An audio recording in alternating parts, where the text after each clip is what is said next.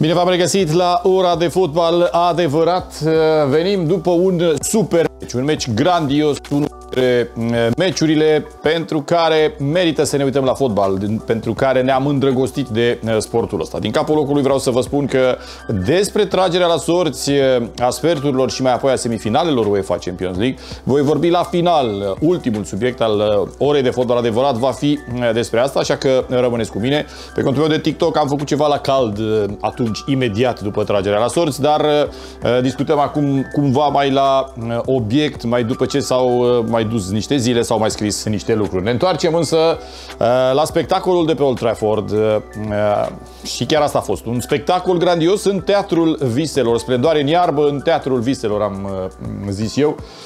Un meci pe care englezii îl consideră deja a fi în istoria, face parte în, în topul meciurilor din istoria Cupei Angliei. Și asta nu e puțin lucru, pentru că istoria Cupei Angliei se întinde hăt departe cea mai veche eh, dintre competițiile eh, lumii fotbalistice, eh, ne-a oferit această partidă. Câștigă Manchester United. Are mai multe motive de a sărbători dincolo de calificarea în semifinale. În semifinale a dat peste Coventry un dublu succes, pentru că succesul de pe, de pe teren a venit, a fost urmat și de succesul la tragerea la sorți. E important, e important și uh, uh, pentru uh, uh, pentru echipa lui Ten Hag, e importantă pentru echipa lui Ten Hag această victorie și e importantă și această tragere care le permite să se gândească. Totuși, vorbim despre un adversar din uh, Premier League, vorbim despre un adversar de categorie inferioară, Coventry și care a produs surpriza, l-a scos pe Wolverhampton, dar vorbim despre o partidă care se joacă totuși pe Wembley, într-o atmosferă cumva mai apropiată de ceea ce înseamnă Man United decât de ceea ce înseamnă Coventry. Mă întorc însă la meci, titlul e Mad Mad World, vine de la Ahmad. A Mad Mad World, mergea și o pauză aici. A Mad Mad World, a Mad Mad Game, poate de la Ahmad Diallo, cel care a marcat golul în poate aproape ultima fază. N-a fost chiar ultima fază, dar a fost uh, acolo uh, pe aproape. A fost uh, pur, uh, un teatru pur în teatru viselor această partidă. 1-0 United, 2-1 Liverpool, 2-2. Ocazie imensă Rashford, poate la ultima fază a celor 90 de minute. 3-2 Liverpool, ca așa se întâmplă. 3-3 și 4-3. Golul ăsta al lui, uh, uh, al lui Diallo, uh, pornit din dorința celor de la Liverpool de a încheia socotelile. Dintr-un corner al celor de la Liverpool pornește contraatacul dus în doi cu această energie a lui Garnacho și cu golul ăsta, cu Golul ăsta cu, cu exactitate aproape chirurgicală, marcat de un jucător pe care s-au dat bani mulți la momentul transferului său la, de la Atalanta. Uh, ok, s-au dat bani destul de mulți. Hai să nu să rămânem totuși în, uh, în mercurialul transferurilor din Anglia. S-au, s-au dat bani destul de mulți. Împrumutat la Rangers, împrumutat la Sunderland. Doar patru meciuri jucate în acest sezon și vine și momentul lui uh, de glorie. United se califică și Zice în analiza sa, una din analizele sale asupra meciului, pentru că imediat o să vorbim despre Ten Hag. Și cu ce ajută subiectul următor, cu ce ajută pe Ten Hag chestia asta. În analiza sa, Daily Mail zice monstruoasa mentalitate a celor de la Liverpool. N-a funcționat de data asta. Și asta l-a făcut pe Jurgen Klopp să dea deoparte, să arunce o șansă de a mai câștiga un trofeu. A câștigat Cupa Ligii, Obiectivul lui era să câștige patru trofee în acest sezon. Știm că e în cursă în Europa League, acolo nu poate da peste Bayer Leverkusen decât în finală, peste Xavi Alonso și ăsta ar fi un moment chiar interesant dacă s-ar întâmpla să, se, să fie asta finala. Uh, oportunitate pierdută pentru uh, Liverpool și acum rămâne să vedem ce înseamnă asta, ce va însemna asta uh, pentru ei. Cumva Man United a a arătat ceva, a arătat ceva din spiritul uh, acelei echipe. Liverpool și-a dorit să câștige. Liverpool din nou a fost echipa care a pus fotbalul pe masă, a pus mult din mentalitate. Jurgen Klopp zice, n-am știut să închidem, să ucidem meciul la momentul de 3-2. La momentul de 2-1 la momentul de 3-2. E, asta, uh, mentalitatea asta a fost, uh, a funcționat, uh, a funcționat grecii. Și poate că Și dorința asta aprigă așa, tot din mentalitatea izbărită, trebuie să câștigăm, n-are rost să mergem să mai așteptăm penaltiurile, deși la acele momente, la momentele astea, la ultima fază, când e totuși ultima fază, la manual, dacă exista, o exista un manual, teoria spune, domne, mai ușor, mai, mai cu precauție că nu se știe, e totuși ultima fază și orice eroare se pedepsește. O eroare a fost aici și cu asta basta. Recuperarea lui Diallo, pasa apoi contraatacul în doi cu Garnacio și golul care, iată, uh, îngroapă visele lui Liverpool de a câștiga această competiție și a lui Klopp de a câștiga această competiție, că nu se știe în campionat cum e treaba și nici în Europa League nu se știe uh, cum e treaba. Uh, ar fi fost frumos, poate o semifinală cu Manchester City, cine știe cum ar fi fost sorții de data asta, poate o finală, iarăși un ultim dans cu Guardiola. Rămânem așadar cu ultimul dans, cel de săptămâna trecută. Avem acum clar siguranța, garanția că nu mai există, nu va mai exista un duel, cel puțin așa, în o perioadă, între Jurgen Klopp și Pep Guardiola. Așadar, concluzionând, a meritat sau nu Liverpool să piardă, a meritat sau nu Manchester United să câștige, deja nu mai contează. Asta face parte din uh, frumusețea fotbalului, pur teatru. Uh, ăsta e fotbalul pe care ni-l dorim și din nou ne este oferit de fotbalul din Anglia la nivel de cupă uh, de data asta, dar ne este oferit. Asta vrem să vedem la fiecare meci și cumva Premier League Cupa Angliei nu ne trădează. Fotbalul din Anglia nu ne trădează așteptările niciodată. Dacă acest succes contează sau îmbunătățește sau cosmetizează în vreun fel situația lui uh, Ten Hag, uh, vorbim în subiectul imediat următor, pentru că situația lui Jurgen Klopp o cunoaștem. El urmează să plece. Dar Ten Hag, care e situația lui Ten Hag? Imediat vorbim despre asta.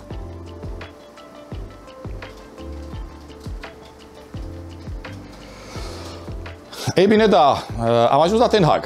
Mai devreme uh, am vorbit puțin despre splendoarea asta de meci dintre uh, Man United și Liverpool de pe Old Trafford. Meciul ăla pe care ni-l dorim cu toții să-l vedem repetat și iar în buclă, și a repetat și a repetat ca telespectatori neutri ca fan, poate și ca fani celor două echipe, că intensitatea aia a fost frumoasă, ca fanii lui United 100%, dar poate și ca fanii lui Liverpool, că a fost un meci intens. Sunt frumoase și uh, câteodată și eșecurile au partea lor de frumos, dar ca fan neutri, da, e un meci pe care ne-am dorit să-l vedem. E, acum întrebarea este, cu Ten Hag cum rămâne? Pentru că e genul ăla de victorie care te face să vibrezi așa, te face să uiți, să dai deoparte toate problemele și să, practic, să renaști, să dai așa un control alt delete la, toate, la toți virusii care există prin, prin computer, prin computerul tău, prin mintea ta și prin tot ceea ce se întâmplă. O fi posibil asta, însă schimbă cu ceva datele problemei. Acum, asta e o întrebare pe care mi-o pun și vă pun. Schimbă cu ceva victoria asta datele probleme în ceea ce privește pe uh, Ten Hag? Uh, aceeași analiză este făcută acum de Mirror. It still may not save him. Încă nu-l salvează, uh, dar uh, ăsta a fost meciul lui Ten Hag. Eu vreau să vă aduc aminte de un lucru. Anul trecut, pe vremea asta, nu știu dacă neapărat pe vremea asta, anul trecut, în campionatul trecut, Liverpool era în regulă. Se ducea, se ducea spre finala Cupei Angliei, uh, Champions League era acolo, lupta și a obținut locul de Champions League și perspectivele erau se poate de bune. Se rezolvase problema Cristiano Ronaldo uh, și așa mai departe, perspectivele erau cât se poate de bune. A venit meciul cu Liverpool din campionat. Un Liverpool care nu are nicio legătură cu ceea ce e astăzi. Și ca, asta ca să vedeți cum stau lucrurile. Liverpool de astăzi nu are nicio legătură cu Liverpool din campionatul trecut. Era, dacă mi-aduc eu bine aminte, la momentul meciului cu City, era diferență de 18 puncte între ce era Liverpool anul trecut și ce este Liverpool astăzi. Și uite cum se întâmplă, că Liverpool astăzi, Liverpool de astăzi nu pierde nu poate să bată pe Man United. Această echipă puternică a lui Liverpool. Acea echipă care în sezonul trecut abia mai se târa, a demolat pe Man United pe Anfield și acolo s-a rupt ceva. Ăla a fost momentul în care ceva s-a întâmplat și de acolo lucrurile au început să o ia razna pentru Man United și pentru Ten Hag. O fi posibil să se închidă cercul? Că ne uităm și noi la semne, ne putem uita la semne, la destin, la tot felul de alte, la stele, la tot felul de alte lucruri. O fi posibil să se închidă cercul? A plecat de la eșecul cu Man United, cu uh, Liverpool, cercul se închide tot cu Liverpool, dar la o victorie. Poate că da, cine știe. Deocamdată, semnalele pe care le dă echipa acum și pe care le dă Ten Hag este că s-au mai așezat lucrurile. Lucrurile s-au mai așezat. Dacă la momentul eșecului cu City, care, a, care n-a fost drastic, n-a fost de anvergura, uh, n-a fost prăpastia din meciul cu Liverpool, dar a fost un eșec în care Liverpool, a, în care, pardon, United a arătat urât autobaza aia pusă în fața porții, nu puteau să iasă, a făcut Thierry Henry acolo, perimetrul ăla, ca la pușcărie, erau băgați în, într-un perimetru, într-un careu, ca pe vremuri la licee. Erau băgați cei de la United, nu puteau să iasă de acolo. N-a, ca scor n-a arătat extraordinar de urât, ca joc a arătat urât, mai ales că atunci United a deschis scorul. Trecând peste meciul ăla uh, și peste ceea ce a urmat, Parcă, parcă încep lucrurile să se lege și în mintea lui Ten Hag. Ăla cu City nu-l punem la socoteală. Și în mintea lui Ten Hag încep să se lege anumite lucruri și parcă, parcă uh, încep să te gândești, domnule, dar omul e al doilea an, proiectul e mai lung, un proiect de lungă durată totuși. Oare nu cumva ar fi bine să rămână tot el? E, asta e întrebarea pe care o pun. Oare nu ar fi bine să rămână tot el? Pentru că știe lucrurile, vestiarul încep să, jucătorii încep să răspundă. Ori vor mai veni poate jucători acum odată cu schimbările la nivel de patronat uh, și la nivel de conducere care se vor derula.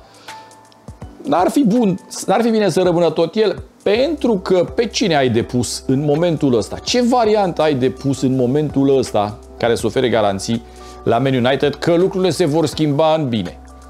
Păi hai să vedem că nu prea ai. Că e dilema lui Liverpool, e dilema lui, lui chiar și a lui Chelsea, e dilema uh, pe care o are Bayern München, e dilema pe care o are Barcelona. Sunt patru echipe foarte mari. Patru nume foarte mari de echipă care caută antrenori și nu știu pe cine să pună. Și acum s-ar fi și United. Pe cine să pună United antrenor?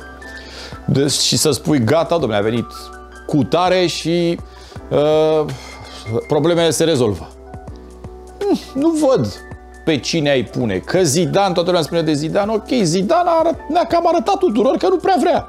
Nu prea îi convine să se ducă în Anglia, nu prea vrea el să meargă la United într-o campionată pe care nu, o limbă pe care nu o stăpânește foarte bine, nu vrea și gata. Are el niște planuri și cu asta basta. Și atunci cine să fie uh, antrenorul ăsta pe care să-l pună United ca să rezolve problema asta lui uh, uh problemele care există și pe care le-a creat într-un fel uh, Ten Hag, de la care așteptările erau mari, inclusiv ale mele. E o întrebare și cred că dilema asta există acum și în mintea lui Sir Jim Ratcliffe, că el a început să, uh, să preia așa uh, de unde e familia Glazer, habar n-avea lumea cine, că îi vedeai pe stradă, dar nu erai suporterul lui United foarte feroce, îi vedeai pe stradă, nu știai că sunt Glazers. E pe Ginger, Sir Jim Ratcliffe îl știi pentru că apare, se scrie despre el, e implicat, fiindcă omul este și fan dincolo de a fi finanțat, mă rog, acționar, este și fan. Are o echipă despre care am mai vorbit. Unul de la City, uh, unul de la Liverpool. Uh, are o echipă așa pe care o face și uh, de, de conducere de fotbal. Uh, fostul Blanc, fostul de, uh, de la Juventus, care e acum la Ineos. E o echipă în jurul lui de oameni foarte pricepuți că toți au demonstrat lucruri. Acum se vor gândi. Nu cumva ca meciul ăsta să fie nu cumva ca meciul ăsta să fie marea șansă, marea oportunitate pentru, uh, pentru Ten Hag, în fața căruia mai stă un meci. Mai stau alte meciuri, dar unul singur. Ăla de campionat. Cai s-a jucat în cupă. Atenție, ăla de campionat. Acolo se pot Acolo se pot decide lucruri uh, în ceea ce înseamnă uh, viitorul ăsta al lui Ten Hag. Da, o să vorbim despre uh, chestia asta la momentul respectiv. Ați văzut uh, în primul subiect uh, al orei de fotbal adevărat de astăzi cum stau lucrurile în Cupa Angliei, care sunt semifinalele din uh, Cupa Angliei. Dacă n-ați văzut, intrați repede pe sportextra.ro, pe YouTube Sport Extra, găsiți acolo pe contul meu de TikTok, pe contul meu de Instagram, pe contul meu de Facebook. Tragerea s-a, s-a făcut, s-a făcut după meci. A, în alți ani, că oamenii în, în Cupa Angliei au ei așa niște nebunii, în alți ani s-a tras la pauză, la pauza ultimului meci, se făcea tragerea la sorți. Acum lucrurile sunt destul de clare, în sensul că Man United întâlnește pe Coventry, iar City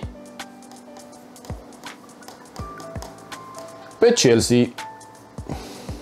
Astea sunt uh, Uh, meciurile care se vor juca în partidă unică două zile la rând pe Wembley. City s-a calificat în semifinale și merge mai departe, își duce mai departe, ce să spun că își duce, ambițiile. Că trena, uh, dorințele, obiectivele, uh, că trebuie, trebuie să găsească ceva poate noile perspective. Ceva trebuie să găsească mereu Guardiola ca să să, a, să motiveze echipa. Și ce motivație mai mare? E în cursă din nou pentru trei trofee, serios. Adică City a ajuns exact unde era anul trecut. Semifinale, sper, anul trecut era Bayern, acum era Real Madrid. Sperturi, semifinale de cupă, luptă în campionat. Anul trecut era la distanță mare în campionat, acum e la un punct. Își duce mai departe așa, dar nu pot să spun crucea asta, că e totuși e o exagerare fără margini. Își duce mai departe această aură, această învergură și se califică. Câștigă în fața lui Newcastle, care e o poveste separată. Pentru Newcastle cupa era o oportunitate, fiindcă în campionat lucrurile nu funcționează așa cum au funcționat în campionatul trecut și nu știu dacă asta nu cumva o să-l coste pe Eddie Howe postul, fiindcă ai ridicat ștacheta tu și apoi n-ai fost în stare să intri, ai intrat pe sub ea la următoarea, la următoarea săritură. Păi dacă ai ridicat ștacheta atât de sus, sar peste ea în continuare. Lumea se așteaptă să tot sar, să tot sar. Când sar pe, pe sub ștachetă, încep să apară dezamăgirile, privirile încruntate, eventual huiduelile. Asta e problema lui Newcastle. A câștigat City, două șuturi Bernardo Silva deviate, ca așa se întâmplă. Ca așa e fotbalul, echipa mai mai mobilizată, cu o stare de spirit mai bună, cu tot ce are, tot ce îi trebuie. Se califică și când joacă ceva mai prost, nu e că a jucat prost, uh, mai prost uh, City, dar așa au fost golurile. Și dă acolo peste Chelsea, uh, care câștigă la capătul unui meci nebun, zic cei de la Sun, de la Mirror, nu mai știu de unde e asta, împotriva celor de la Leicester. Echipă care acum e în Championship, dar care probabil va fi în viitorul sezon, va fi înapoi în uh, viitorul uh, sezon de uh, Premier League. Meciul a fost cu adevărat zăpăcit, dar până la urmă Chelsea a profitat de terenul său. Și Chelsea, iată, încă o dată merge pe Wembley. Cumva e, e încă un lot, încă un loz pe care îl trage. A fost pe Wembley cu Liverpool. A pierdut final. Acum e pe Wembley cu City. E cât o finală meciul ăsta. Mai apoi probabil urmează finala, să zicem, cu United. În principiu cu United, care ar trebui să treacă de Coventry. Dar e o oportunitate. Oportunitatea de care spuneam că a dispărut pentru Newcastle se naște din nou pentru, pentru Chelsea. Câte oportunități să mai aibă și Pochettino. Iar în subiectul de dinainte, atunci când vorbeam despre despre Ten Hag și despre ce schimbă calificarea asta în viitorul lui Ten Hag și aminteam eu acolo că sunt multe cluburi uh, în căutare de antrenor și poate că n-ar trebui să se mai pună și United pe lista asta. Uh, o reiau. Liverpool, Bayern, Barça. Uh, să nu uităm că e și, ar putea să apară și Chelsea. Pe lista asta ar putea să apară și Chelsea pentru că pun și pe Newcastle uh, pentru că și la Chelsea dezamăgirea dacă se va fi să se elimine, să fie eliminată echipa va fi mare. De unde atâția antrenori. Încă o șansă așadar pentru Chelsea de a-și aduce suporterii pe Wembley. Ne aducem aminte cum a fost cu Liverpool finala aia. Uh, ok, puteau să câștige. Un meci pe teren neutru, exact asta înseamnă. Un meci pe teren neutru. Nu mai există avantajul Etihad sau și după caz, e un meci pe teren neutru pe care trebuie să știi să-l gestionezi. Avantajul uriaș al lui City e că știe care jucători care au jucat în sezonul trecut trei finale au câștigat, au mai venit după aia niște supercupe, au câștigat și palea, uh, Supercupa Europei, a venit mondialul, au câștigat finalele, au făcut niște meciuri, au în spate o greutate așa pe care, un aer de ăsta pe care îl duc. Chelsea are dorință. Pochettino are dorință, vor fi, uh, va fi un meci foarte tare ăsta de văzut, foarte interesant de văzut uh, meciul ăsta. Fiecare pe drumul lui. City pe drumul lui, Chelsea pe drumul lui, pe drumul ei. Să vedem uh, fiecare echipă, să vedem însă dacă nu va drumul ăsta pentru Pochettino se va și opri cu această ocazie.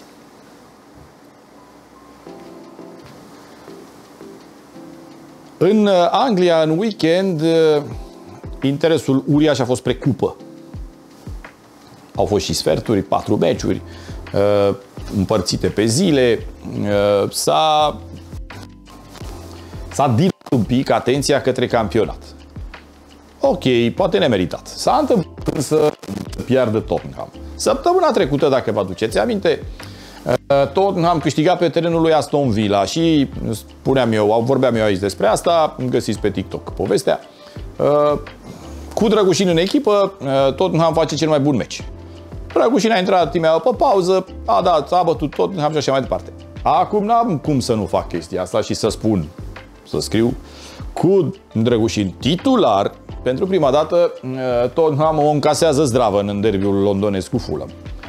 3-0, prilej numai bun pentru unii oameni că sunt e plin de dăștia pe la noi să-și arate cumva satisfacția. Pai, ce a făcut, ce drăgușin, ce slab, vai de bine și de bine, ce prost a jucat. Extraordinar drăgușin, ce penibil și așa mai departe, vai de... De parcă abia asta așteptăm. Există unii oameni care abia asta așteaptă. Asta așteaptă, să se întâmple și să, ah, Simona, ce bine îmi pare, ah, drăgușin, ce bine îmi pare, de parcă n-ar fi al nostru, de parcă avem și mulți, și de parcă n-ar trebui cumva să ne bucur că e acolo în Premier League și să ne întristeze întâmplă ceva. Doar că nu prea s-a întâmplat. Nu e drăgușin responsabil pentru uh, eșecul ăsta. Uh, dacă ați văzut meciul și dacă aveți altă părere pertinentă, nu să-mi spuneți că, aia, nu, domne, că uh, mi-a spus, mi-a scris cineva, mi-a comentat cineva că nu mă pricep la fotbal.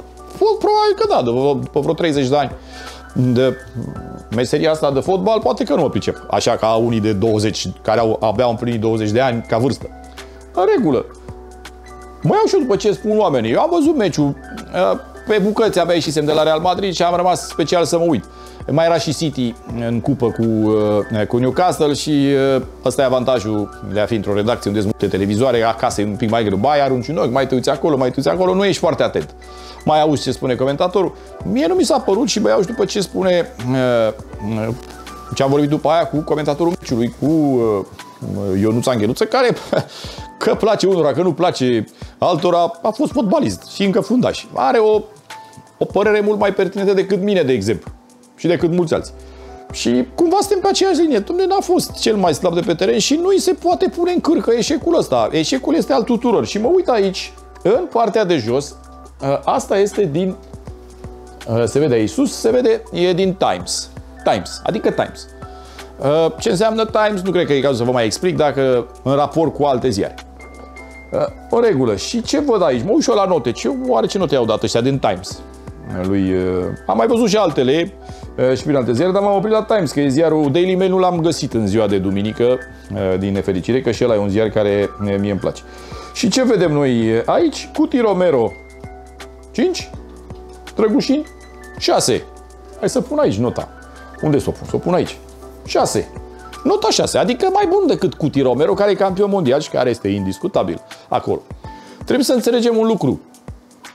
Pentru Drăgușin transferul a fost fantastic. Că s-a reușit el a bătut câmpii impresarul lui, nu-mi bat capul cu...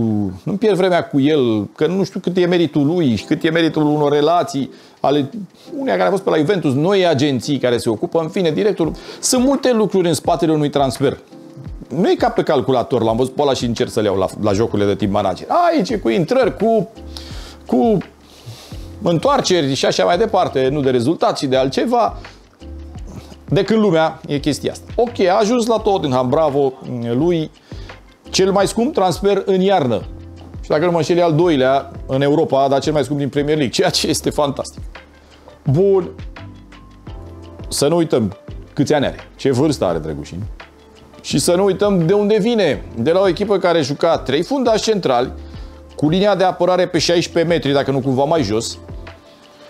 Și acum se aduce la o echipă unde joacă patru fundași central, cu linia de apărare foarte aproape de centru, cu construcție, cu pase unde e nevoie de asta. E nevoie de timp și e nevoie de adaptare. Dacă l-au luat, nu e că l-a luat cineva și a zis, bă, luăm și cu asta, uite că lovesc că luăm, că avem, facem un, un ghișeft, facem un comision cu el. S-a întâmplat asta de mult cu Raul Rusescu. Pare rău pentru el. El a ajuns la FC Sevilla unde și s-a văzut de fapt câte minute a jucat. Că a fost o combinație la care antrenorul nu a fost, n-a fost părtaș. Iată ce se întâmplă cu Vitor Roque la Barcelona, unde iarăși antrenorul n-a fost de acord, dar și a fost băgat pe gât. Și antrenorul face ce vrea. Adică îl bagă foarte puțin spre deloc.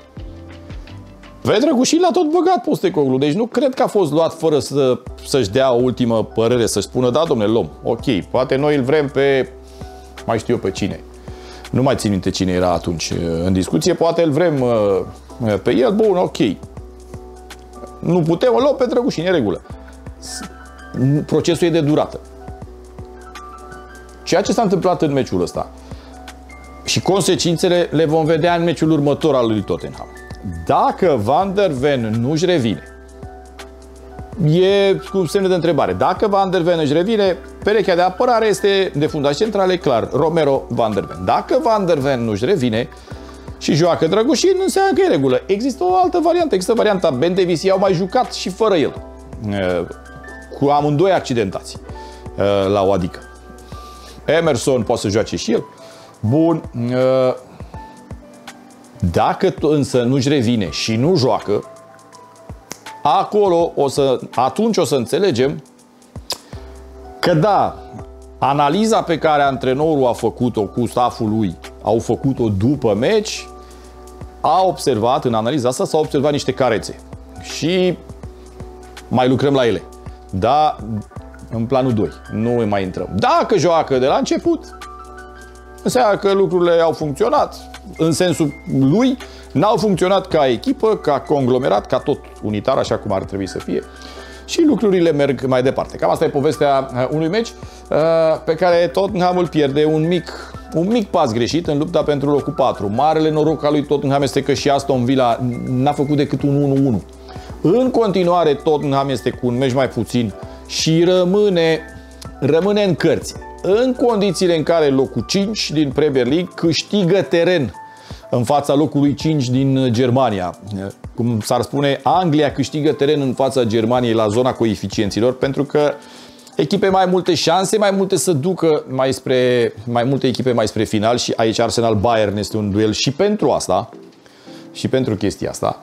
Uh, deocamdată e în cărți. Da, povestea Asta este în legătură cu acest eșec și cu participarea, implicarea lui Radu Drăgușin în acest eșec.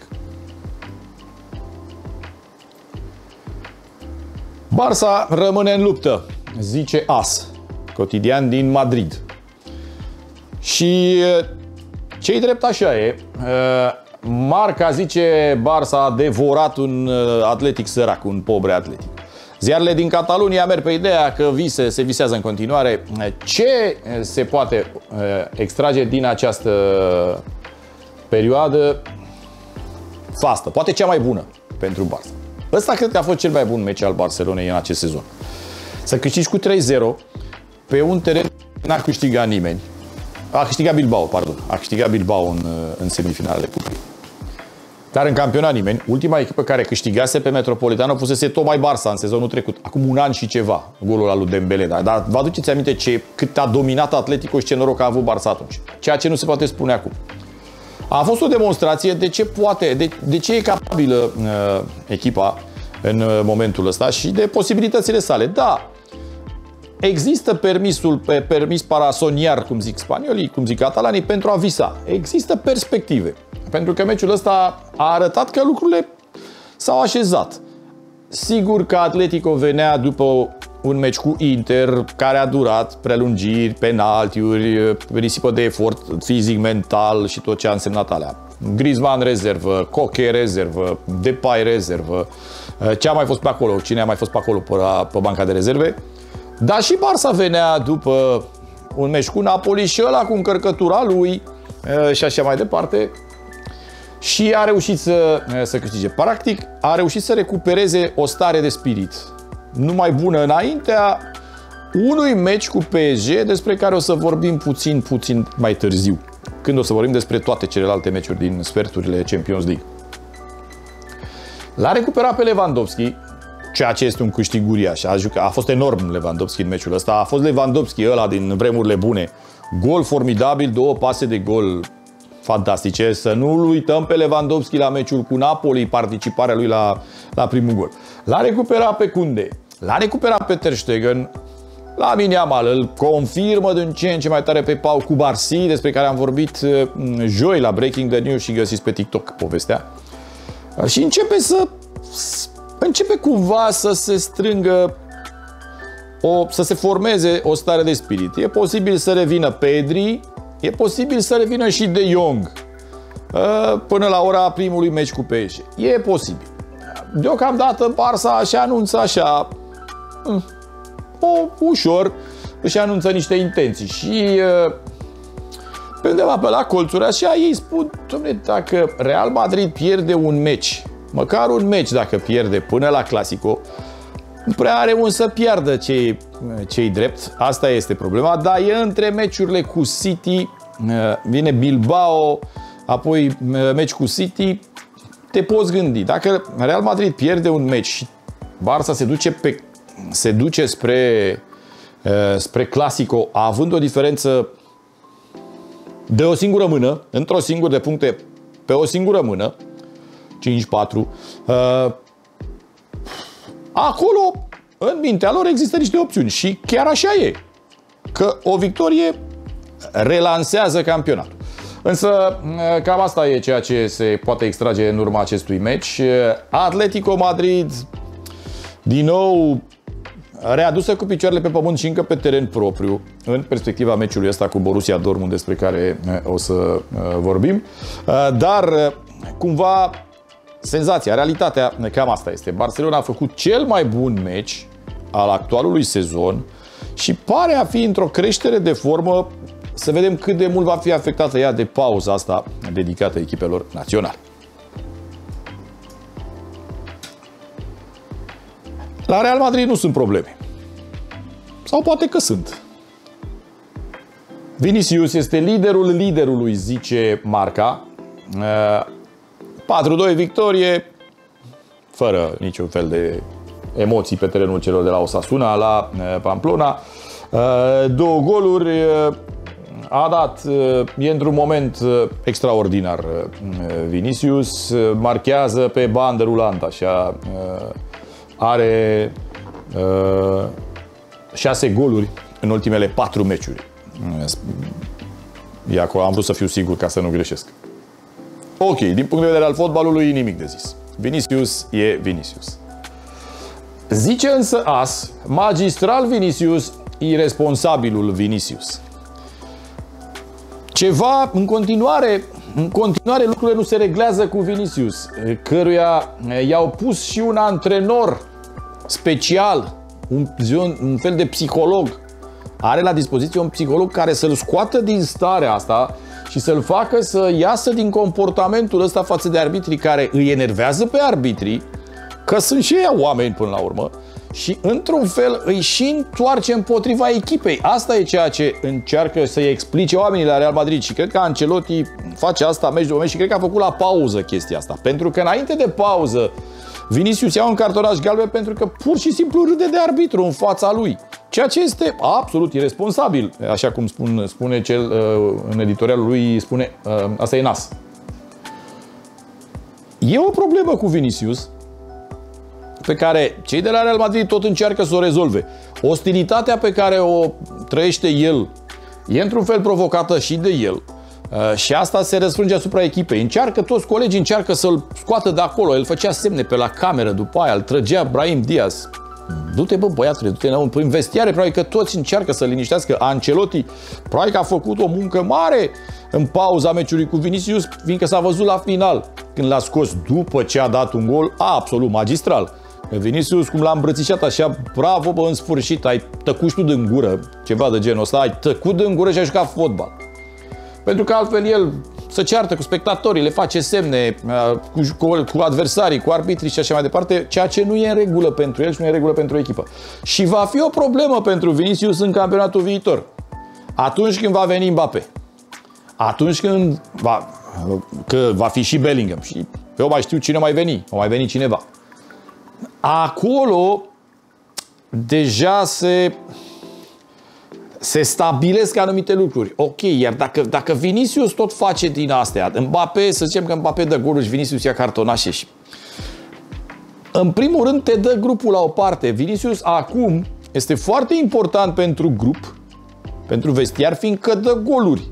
Fiindcă rezolvă meciuri, este face diferența. Când o veni Mbappé și va face el diferența, că o să o facă, n-ai cum să nu, n-are cum să nu o facă, Comportamentul ăsta, dacă va mai exista al lui Vinicius, dacă nu reușește să-l și îl corigeze, el va trage mult în jos și îl va scoate cumva, îl va da, așa, îl vor rejecta și îl vor da deoparte uh, cumva ceilalți și se vor strânge în jurul lui Kilian, care e și mai bătrân și campion mondial și au, are altă învergură și în locul lui Bellingham, care pare și foarte, foarte bine mobilat. Mie mi se pare că în viitor Bellingham va fi liderul acestui vestiar.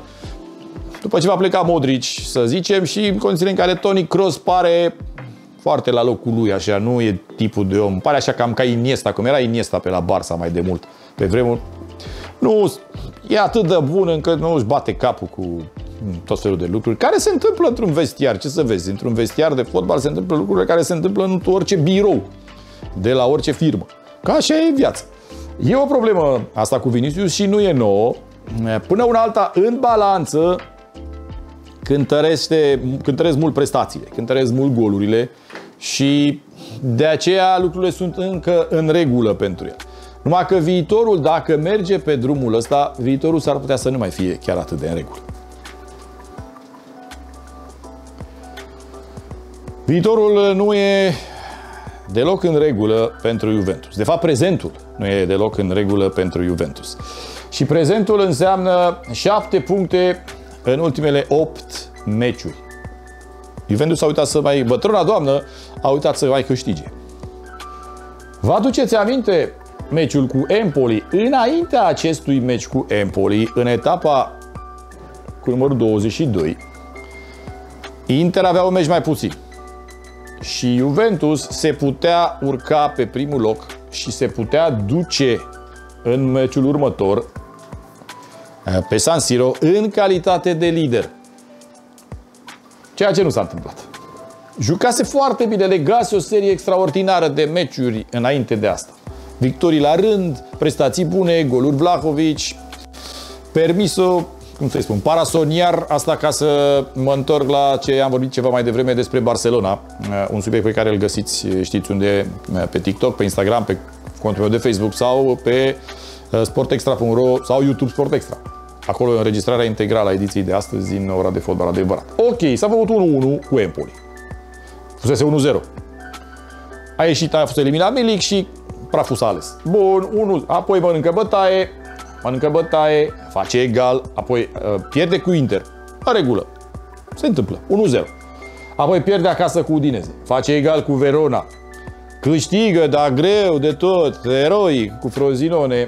Pierde cu Napoli, face egal acasă cu Atalanta, face egal cu Genoa. Și lucrurile încep să nu arate bine deloc pentru uh, Max Allegri, căruia i s-au cam terminat scuzele așa, adică Max Allegri, care la un moment dat era în situația de a prelungi contractul, acum este în situația de a fi dat afară. Doar că ne întoarcem la, la problema existentă la un anumit moment, că nu e prima dată. Are atât de bun contract încât nu poate fi dat afară Max Allegri pentru că ar trebui să-i se plătească niște bani extraordinari și uh, Juventus nu prea are de unde.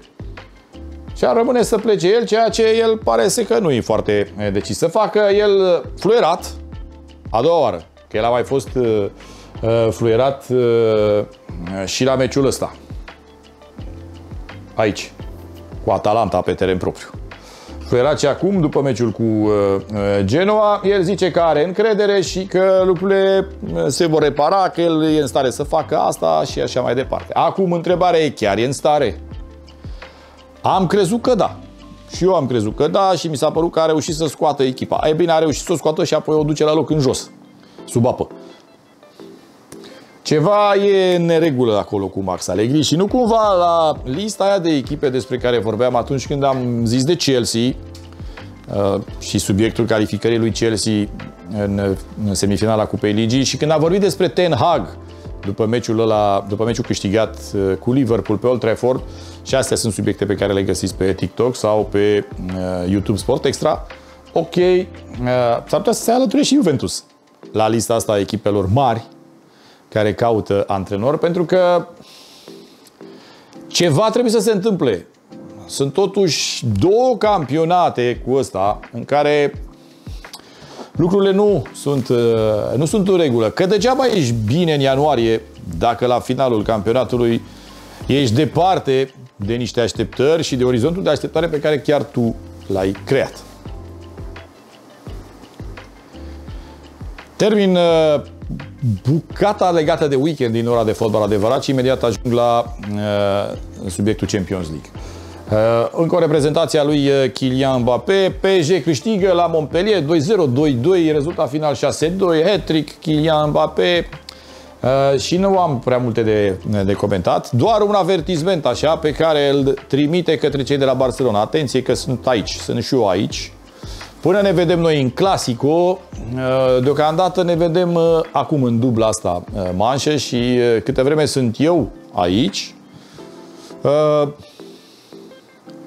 lucrurile funcționează pentru Paris. După ce nu mai fi el, asta ca să-l cităm pe lui Enrique, după ce nu mai fi el, o să vedem, va trebui, va trebui să apară un efort colectiv.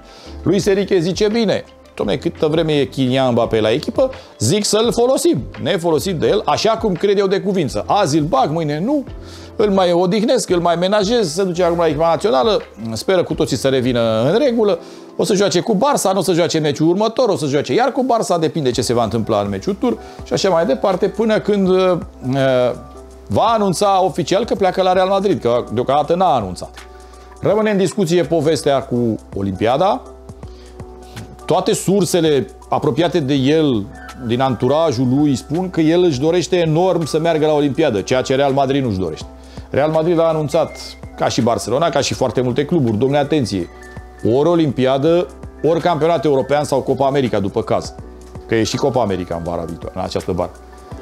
Kylian le vrea pe toate.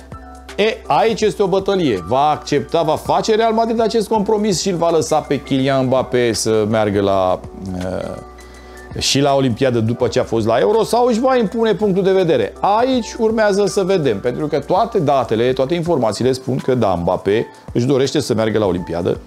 Sub comanda lui Thierry Henry, Thierry Henry e un monument în, e un monument în, în fotbalul din Franța. O Olimpiadă care e la Paris și la care, în care, la care Franța evident că aspiră la câștigarea medaliei. O medalie olimpică este ceva care nouă ne scapă. Dar o medalie olimpică e ceva ce se obține foarte greu, mai ales la fotbal. Și pe care Kylian ar vrea să o obțină. Cofi de argint, cofi de aur, cofi de bronz. E o medalie olimpică. Champions League, campionate, astea mai le câștigi. Cupa mondială o are deja. Euro, nu l-a câștigat încă, mai are timp. Dar o medalie olimpică, la tine acasă, în orașul tău, asta e ceva ce, cu care nu se va mai întâlni. Uh, de aici uh, și uh, textul ăsta din, din L'Echip, că despre asta e vorba, cu politică, real politic și așa mai departe, dar și avertismentul despre care spuneam, în perspectiva sferturilor de finală din Champions League, despre care vorbim imediat. S-au tras așadar uh, sperturile de finală uh, din UEFA Champions League și uh, posibilele semifinale. S-au tras și, s-a tras și Europa League, s-a tras și Conference League, nu discut despre ele. Vorbesc despre asta că e cea mai importantă competiție și ne oferă și niște meciuri extraordinare. Imediat după tragere, cald pe contul meu de TikTok pe de ceva și uh, am încropit sau pe contul meu de Facebook, găsiți. Uh, am, de asemenea, acolo am scris o părere la cald. Reacții multe, păreri pro și contra. Sunt curios acum dacă vi s au mai schimbat opiniile după ce a trecut și weekendul ăsta. În sensul că din nou avem o parte de tablou cu Arsenal, Bayern, Real și Manchester City, ca și în sezonul trecut. Foarte tare. Și una cu Atletico, Borussia, PSG și Barça, mm, așa și așa. Aici, pe partea asta de tablou, favorizația trebuie să fie PSG. Care mie mi se pare în continuare, chiar dacă venim și suntem sub uh, uh imaginea asta a victoriei Barcelonei pe terenul Atletico, mie mi se pare favorită PSG în dubla manșă cu Barcelona. Din câteva, sunt câteva puncte de vedere. În primul rând este Mbappé, care nu are corespondent dincolo. Și mai apoi este Luis Enrique, a cărui uh, experiență este mult peste a lui Xavi. Uh, mai apoi există lotul de jucători care e amplu și oferă variante, inclusiv Dembele, pe care, ok, îl știu ce de la Barça de asta. Să vedem cine îl oprește.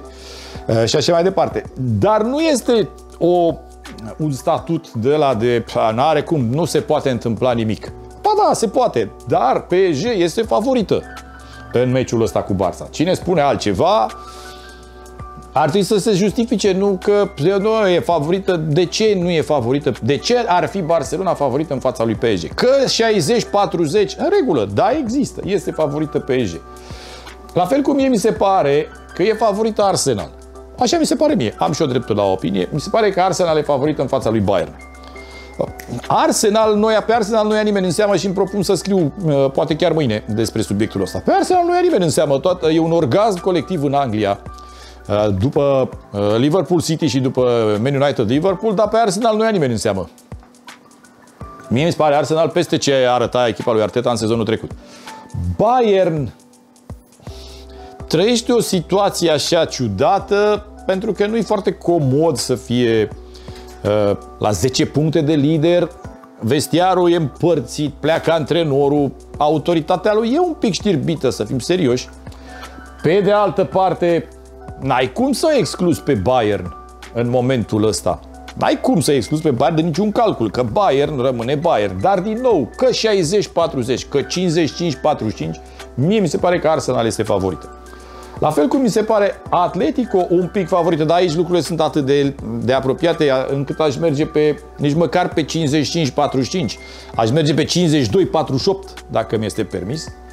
Fiindcă returul se joacă pe terenul Borusiei, doar că Borussia este inconstantă și în, după finala aia din 2013 n-a mai arătat în marile meciuri că e capabilă să facă performanțe de genul ăsta. Atletico e totuși o echipă, în ciuda eșecului ăsta cu Barça, că înregistrez după uh, eșecul din campionat de pe Metropolitano, se pare mai echipă.